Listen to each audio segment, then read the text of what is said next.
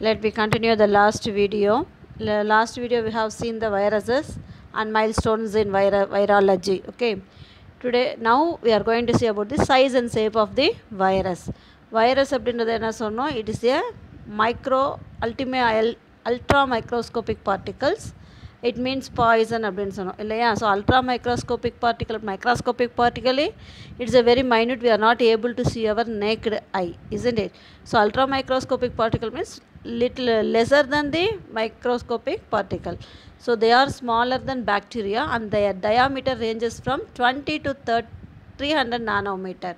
So அதோட diameter எந்த அளவுக்கு இருக்கும் அப்படின்னா டுவெண்ட்டிலேருந்து த்ரீ ஹண்ட்ரட் நானோமீட்டர் வரைக்கும். ஒரு நானோமீட்டர் அப்படின்றது ten to the power of minus nine metres okay so bacteria phages measures about ten to hundred nanometre in size the size of TME is three hundred to twenty nanometre so the size and sizes of viruses will be asked in the one mark questions okay bacteria பேஜோட சைஸ் என்ன அப்படின்னு கேட்பாங்க. டென்லேருந்து hundred nanometre வரைக்கும் இருக்கும். தென் TMP அப்படின்றது வந்து tobacco mosaic virus tobacco mosaic virus அப்படின்றது three hundred to twenty nanometre அளவில் இருக்கக்கூடியது. ஓகேவா so most probably shape அப்படின்னக்குள்ளார three types based on the shape the viruses are three types cuboid symmetry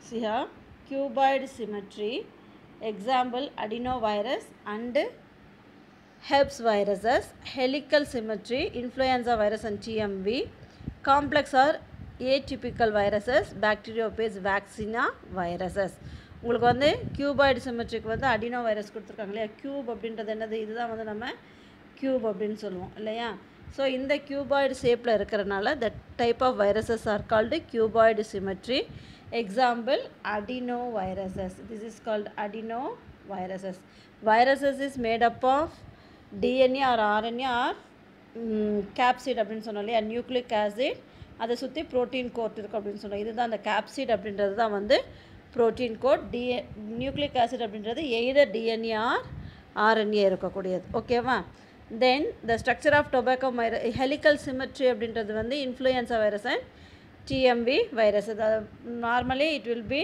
looks இந்த TMV வந்து it's a rod shape virus இது மாதிரி rod ஷேப்பில் இருக்கும். ஓகேவா சென்ட்ரலில் வந்து nucleic acid this is surrounded by the protein coat that is called capsomeres or capsids அப்படின்னு சொல்லுவாங்க. ஓகேவா ஸோ இந்த டொபாக்கோ மொசைக் வைரஸ் இந்த மூணு வைரஸோட ஸ்ட்ரக்சரும் வந்து உங்களுக்கு த்ரீ மார்க் கொஸ்டின்ஸில் கேட்பாங்க drawn label the adeno virus or drawn label the TMV virus or drawn label the T four bacteriophage bacteriophage அப்படின்னா என்ன சொன்னோம் நம்ம? Virus infection bacterias are called bacteriophage okay so அது வந்து என்ன ஸ்ட்ரக்சராக இருக்கும் அப்படின்னா காம்ப்ளெக்ஸ் ஆர் ஏடிபிக்கல் ஸ்ட்ரக்சராக இருக்கும். பாக்டீரியோ பேஜ் வேக்சினியா வைரஸ் இதை பற்றி டீட்டெயிலாக உங்களுக்கு வந்து ஹையர் கிளாஸஸில் படிக்கலாம். ஓகேவா நெக்ஸ்ட்டு வந்து கேரக்டரிஸ்டிக்ஸ் ஆஃப் வைரஸ். கேரக்டரிஸ்டிக்ஸ் அப்படின்னுக்குள்ள ஆல்ரெடி ஐ ஹவ் செட் வைரஸஸ்க்கு வந்து என்ன கேரக்டர்ஸ் இருக்கும்? It has an a both living and law living characters ஓகேவா லிவிங் கேரக்டர் அப்படின்னா என்னென்ன கேரக்டர் இருக்கும்?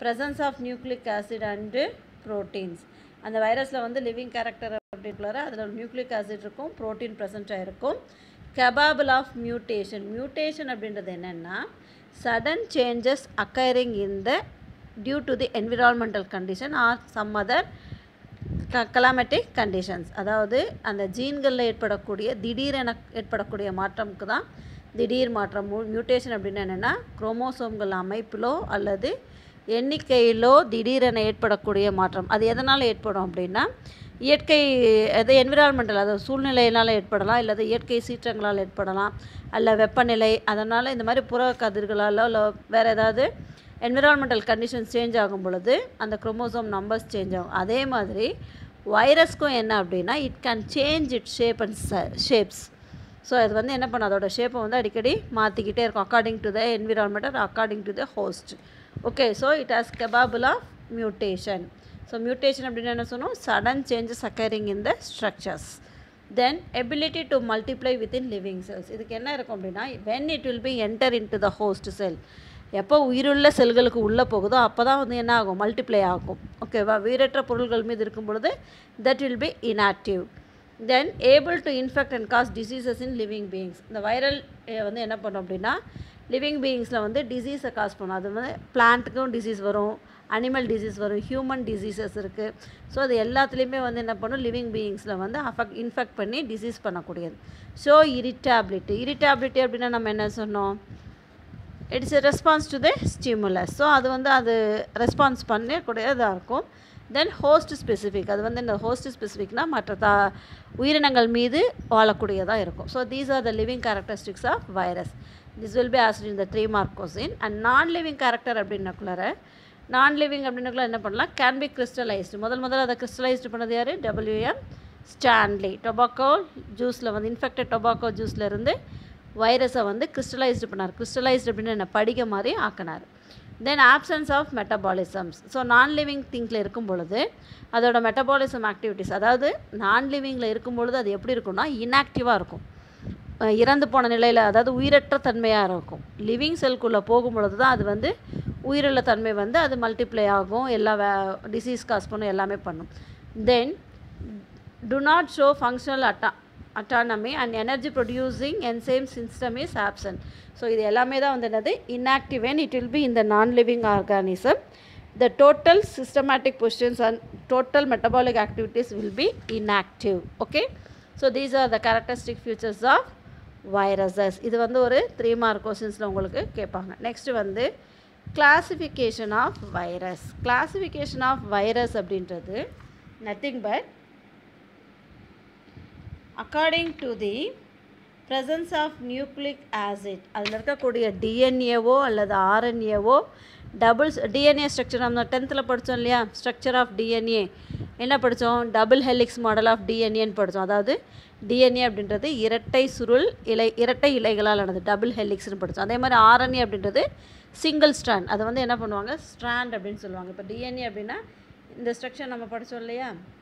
இதுதான் வந்து டிஎன்ஏ இது வந்து என்னது? டபுள் ஸ்ட்ராண்ட் ஆர்என்ஏ அப்படின்றது சிங்கிள் ஸ்ட்ராண்டில் இருக்கும். ஓகேவா so according to the presence of double strand or single strand it may be divided okay இது வந்து கிளாஸிஃபிகேஷன் பண்ணியிருக்காங்க. அந்த கிளாஸிஃபிகேஷனை முதல் முதல்ல கொடுத்தது யார் அப்படின்னா டேவிட் பால்டிமோர் டேவிட் பால்டிமோர் அப்படின்றவர் he has classified the viruses in the year of 1971. So, the classification is based on the mechanism of RNA production, the nature of the genome. So RNA ப்ரொடக்ஷனை பொறுத்தும் genome அப்படின்றது அது single ஸ்டாண்டர்டாக இருக்குதா அல்லது double ஸ்டாண்டாக இருக்கா அப்படின்றது தென் அந்த நியூக்ளிக் ஆசிட் வந்து ஆர்என்ஏவா இல்லை டிஎன்ஏ நம்மளுக்கு என்ன சொல்லுவோம் வைரஸ் ஸ்ட்ரக்சர் அப்படின்னாவே சென்டரில் நியூக்ளிக் ஆசிட் இருக்கும். அதை சுற்றி வந்து புரோட்டீன் கோட் இருக்கும் அப்படின்னு சொன்னோம். அந்த நியூக்ளிக் ஆசிட் வந்து எய்தர் ஆர்என்ஏ ஆர் டிஎன்ஏ அதாவது ஆர்என்ஏ இருக்கும் இல்லைன்னா டிஎன்ஏ இருக்கும் ரெண்டும் சேர்ந்து இருக்காது. ஸோ அதை பொறுத்தும் இது வந்து கிளாஸிஃபை பண்ணியிருக்காங்க. தென் எஸ்எஸ்ஆர்என்ஏ அப்படின்றது single strand RNA maybe positive sense or negative antisense viruses are classified into seven classes அந்த செவன் கிளாஸஸும் வந்து உங்களுக்கு டேபிளர் காலமில் கொடுத்துருக்காங்க பாருங்கள்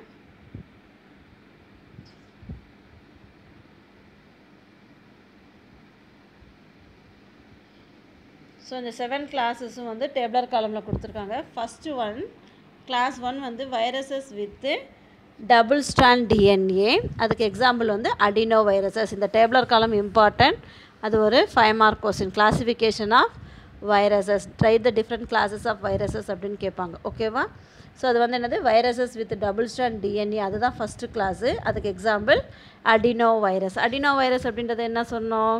கியூபாய்டு சிமெட்ரியில் இருக்கக்கூடியது தான் அடினோ வைரஸ் சொன்னோம் இல்லையா? தென் கிளாஸ் டூ வந்து viruses with positive sense single strand DNA SS அப்படின்றது சிங்கிள் ஸ்ட்ராண்ட் டிஎஸ் அப்படின்னா டபுள் ஸ்ட்ராண்ட் ஓகே ஸோ அதுக்கு example parvoviruses class three viruses with double standard RNA reoviruses class four viruses with positive sense single strand RNA togaviruses class five viruses with negative antisense single strand RNA rhabdoviruses example வந்து ராப்டோ viruses class சிக்ஸில் வந்து viruses with positive sense single strand RNA negative RT that replicate with DNA intermediate in life cycle retroviruses class செவனில் வந்து viruses with double strand DNA negative RT with replicate with RNA intermediate in life cycle Hapantna viruses. So according to the presence of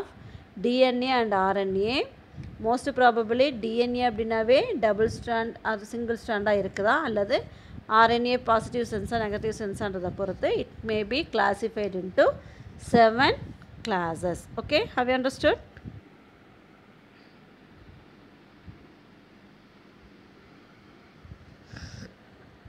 next viral genome